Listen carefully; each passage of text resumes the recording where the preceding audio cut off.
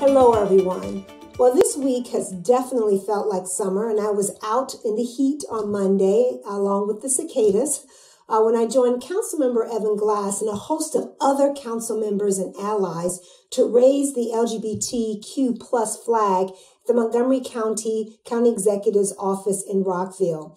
Now, this has become an annual tradition, I think, that speaks to the county's welcoming of all persons and a symbol of radical inclusion that we particularly enjoy at Montgomery College. It was heartwarming to be surrounded by so many others who understand just how deeply inclusion matters within the LGBT community, as well as what it means for Montgomery County at large. Uh, this special event was my last official flag raising event here in Maryland, but you can bet that I'm looking forward to participating in future events like these in Nevada. Now, in other news this week, I'm sure that you read the board's memo to the community announcing the interim president for the college. I am absolutely thrilled that my friend, Dr. Charlene Dukes, as well as a person who is well recognized within our region for her extraordinary leadership, uh, will be stepping into this space. Uh, Dr. Duke spent 13 years as the president of Prince George's Community College uh, before her retirement last year, and she has the breadth and the depth to take over this position and to keep the college's priorities moving forward. As the memo mentioned, the college has a number of important initiatives that are in progress right now, and I'm already started my briefing of them with Dr. Dukes, and she'll be participating in various orientation strategies over the next several weeks. Now, I know that you will find her on her experience and definitely her background and knowledge of Maryland to be something that's very important, but also important as we think about how we continue to drive MC 2025 and to keep the college moving forward on some key initiatives. Uh, she and I have overlapped considerably on a number of committees and task forces across the state over the last decade. And I have no doubt, none at all, that she will enhance the leadership efforts already in progress here at the college. Uh, to help the college community get to know her a little bit better, we have some special communications planned in the very near future. And I'll have more details about that in next week's video message to you.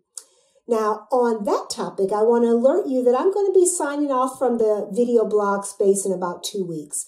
Uh, you probably know that there is a virtual send off planned for me later on this month, so you'll see me in Zoom land to some extent. But I'm going to take some leave with my family as we prepare our move for Nevada. And I hope that some of you would take the time to also take time for yourself and take some time off so that we can all recharge before we get started and prepare for the fall semester. Now, there will still be plenty of communications about the college operations, but I'm going to be handing those over to the divisions most closely connected to them. And I hope that you're watching the valuable employee forums that are in action right now. I've seen a couple of them, and it's clear that the college is engaging, I think, in some very deliberate conversations to respond to employee concerns. Uh, some of these are questions that can be challenging, as you may have heard in the forums, but we're being very intentional to make the decisions that we are making so that they are equity based that they're OSHA compliant and that they're flexible enough to account for all of those realities that some of us are facing. Uh, there's a special process in place uh, for employees who may be dealing with issues related to health conditions, child care, elder care, and many others. So I encourage you to reach out to our human resources contacts so they can know and help you understand what your options are as you are planning your return to our facilities. Now, I want to thank all of you for your communications with me and for your support of Dr. Dukes and the college's senior leadership team. I'm proud of how well the college has moved through this pandemic while continuing to focus on our mission. Uh, we have proven something to ourselves about our capacities for innovation and also for our capacities around empathy.